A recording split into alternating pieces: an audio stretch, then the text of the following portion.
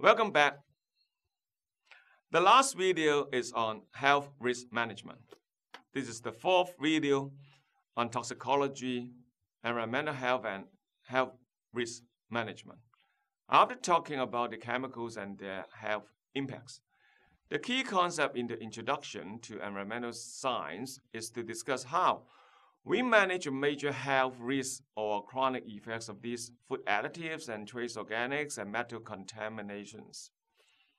It seems to us that these chemicals are unavoidable. The question is, how are we going to deal with them? The second question is what toxicological endpoint we are addressing. Usually the endpoint is cancer. But how are we going to estimate the exposure? What concept do we have in our mind to control the chemicals involved? There was a congressman called James Delaney in the US Congress proposing the concept of zero tolerance in the amendment of his famous Delaney Clause in 1958. The Delaney Clause was a provision in the amendment which said that if a substance was found to cause cancer in man or animal, then it could not be used as a food additive.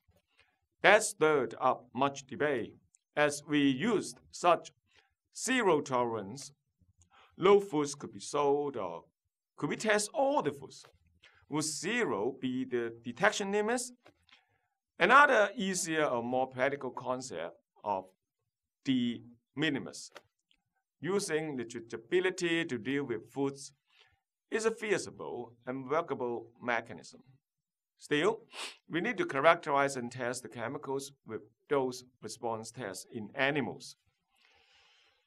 Another issue of modern toxicology research or risk management is how do we deal with chemical mixtures.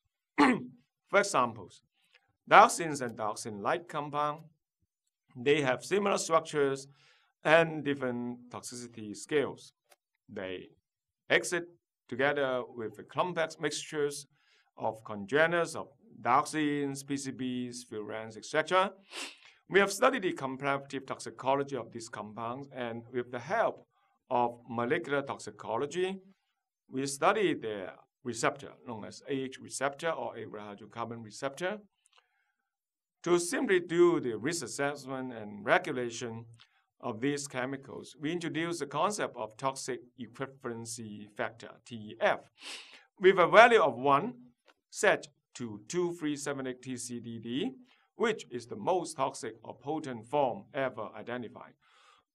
we hence can combine PCBs, furans, and dioxins together to add up as TEQ, toxic equivalency quotient.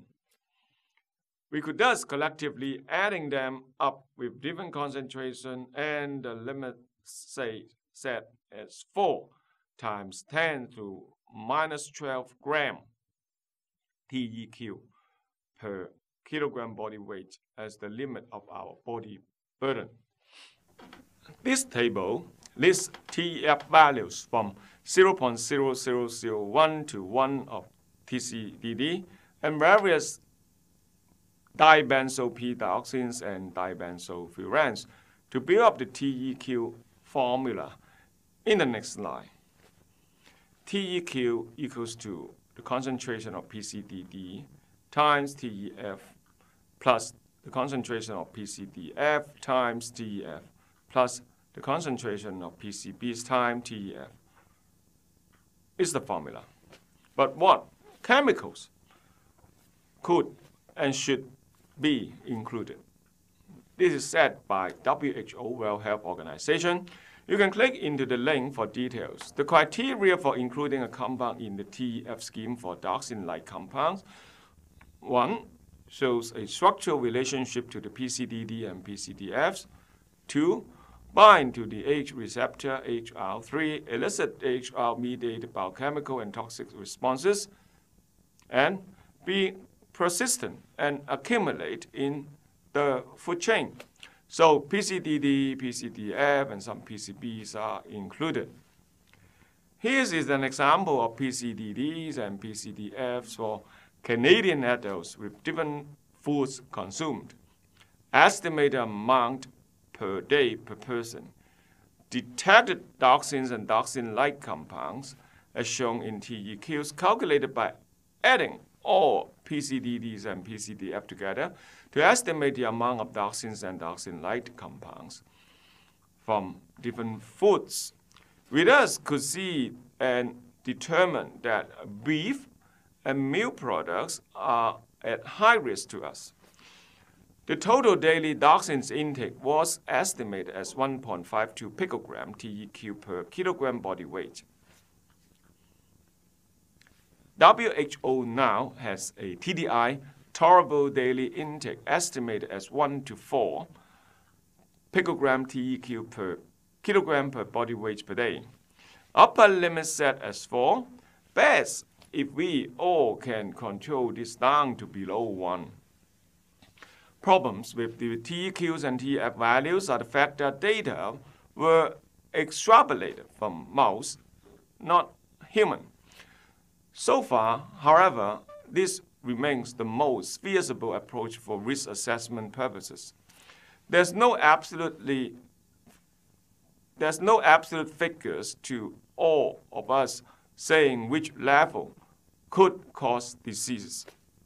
There are also long additives or non-additives interactions might hamper to use TEF values.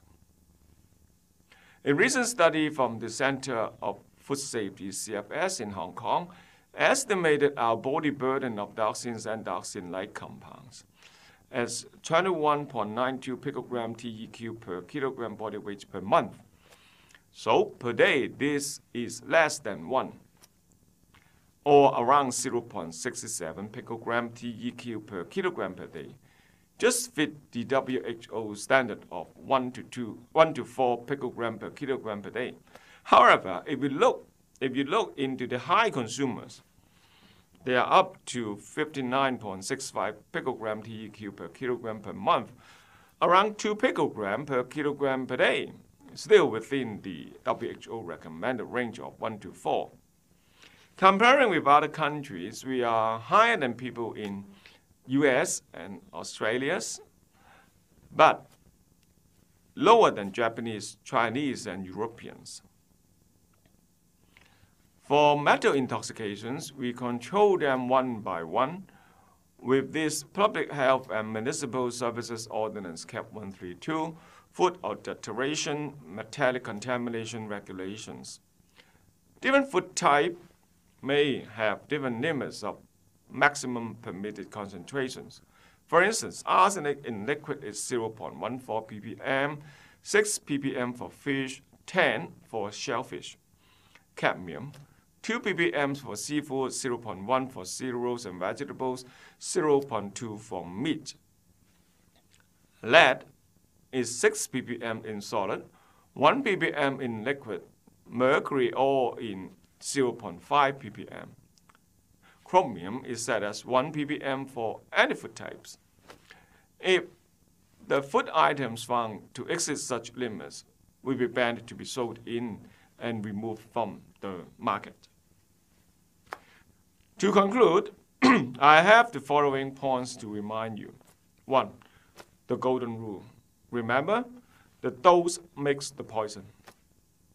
Two, risk management or assessment is important to safeguard us from chronic diseases like cancer. We use the concept of de minimis, not zero tolerance. Guidelines and safety limits are studied in a research area of regulatory toxicology. Mass data analysis are needed and involving human cohorts and food samples to protect us. Finally, balancing risks and benefits is not easy. Seafood is nutritive but contain chemical pollutants. My final advice is having a balanced diet with regular exercise is important to good health. Goodbye. Thank you for watching.